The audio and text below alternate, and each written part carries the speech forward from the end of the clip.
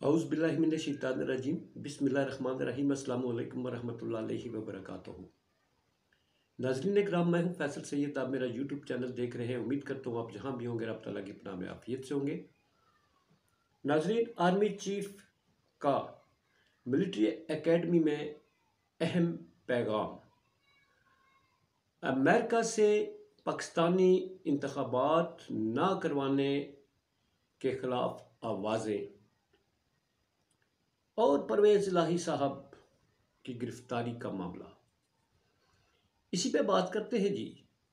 शुरुआत करते हैं परवेज़ इलाही की जो गिरफ्तारी है, इसके सिलसिले में जो अभी तक सुनने में आ रहा है, सियासी जमातें जो हैं ख़ास तौर पर पीटीआई जो है, इसको एक साजिश समझ रही है।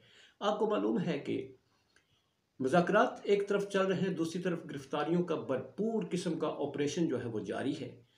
और ना सिर्फ़ ये ऑपरेशन जारी है, बल्कि घर की जो तकदीस है, उसे पामाल किया जाता है। ख़वातीन के साथ बदतमीज़ी की जाती है, उनके साथ उन्हें गिरफ़्तार करके साथ ले जाया जाता है और घर में मौजूद, वहाँ उस चरदवारी में मौजूद अफराद को तशद करते हुए पुलिस की गाड़ियों में उठा ले जाया जाता है।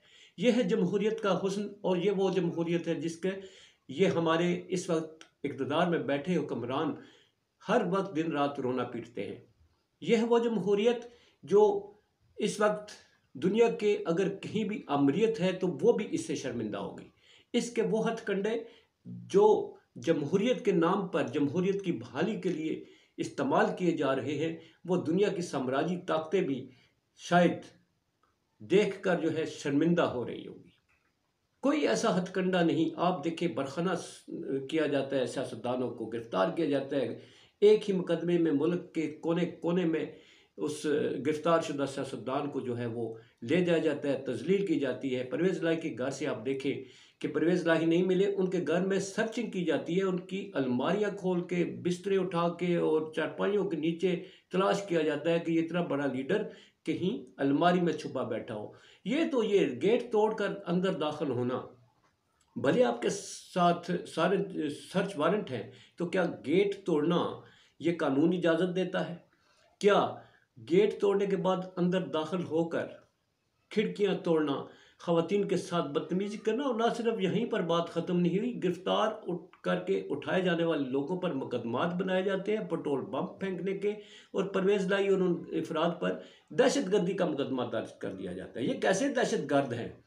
जो पुलिस को नुकसान नहीं पहुंचाते हैं जिनकी तरफ़ से कोई हमला नहीं किया जाता दहशत गर्दी से मुकाबला तो आपका वहाँ होता है जहाँ हमारा कीमती जाने ज़ाया हो जाती है। बहरहाल, इस वक्त मुजाकरात के हवाले से मीटिंग जुमान पार्क में हो रही है। उसका नतीजा क्या आता है? इसके बाद मुजाकरात जारी रहते हैं, यानी उस पर बात करेंगे बाद में।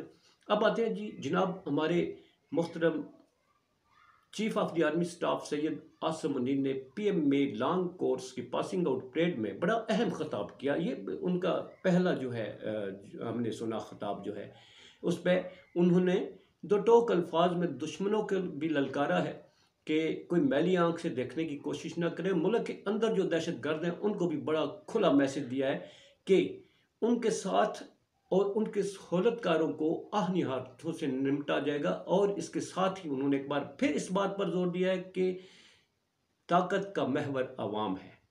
हम अवाम के साथ मिलकर दुश्मन को शिकस्त देंगे, दहशत गर्दों को शिकस्त देंगे, मगर क्या किया जाए?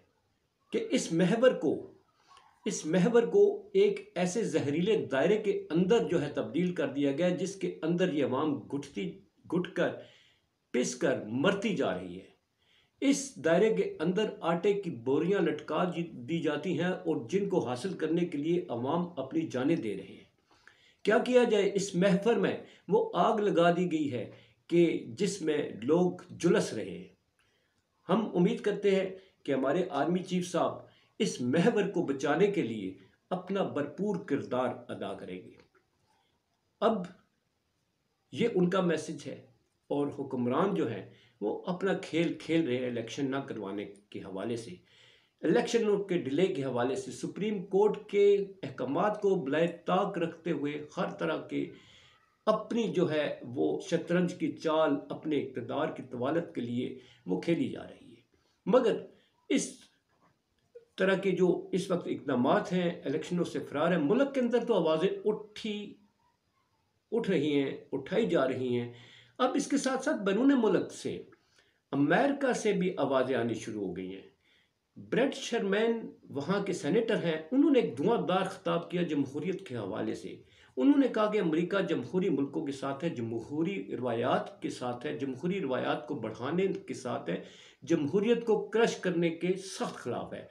उन्होंने पाकिस्तान से मुतालबा किया, गवर्नमेंट ऑफ़ पाकिस्तान से, कि सुप्रीम कोर्ट के अहकाम के हवाले से नब्बे दिन के अंदर जो मुद्दत है, उसमें पंजाब और के पी के इलेक्शंस को मुकर्रा वक्त में उसके इनका को यकीनी बनाया जाए और अक्टूबर में होने वाले जो जनरल इलेक्शंस हैं, उनको भी यकीनी बनाया जाए। तो नाजरीन, सवाल ये पैदा होता है कि हम कैसे मुल्क में रहते हैं, जिसकी जमहूरीत के लिए बाहर से आवाज़ें उठाई जा रही हैं, जिसकी जमहूरीत के लिए, जिसमें जमहूरी हथकंडों में जो इस वक्त इस्तेमाल किए जा रहे हैं, उसके हवाले से हमारा पड़ोसी मुल्क जो है, वो हमारा तमस्कर उड़ाता है।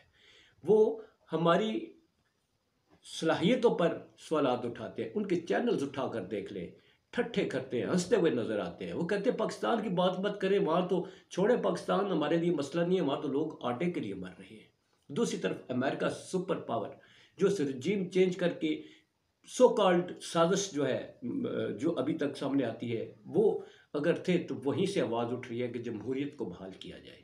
देखते हैं कि हालात किस तरफ़ जाते हैं, हुक्मरान हमारे क्या करते हैं, अवाम किस तरफ़ जाती है, ये महवर कायम रखा जाता है या इस महवर के भी हिस्से किए जाते हैं और इस महवर को जलाकर बसम किया जाता है।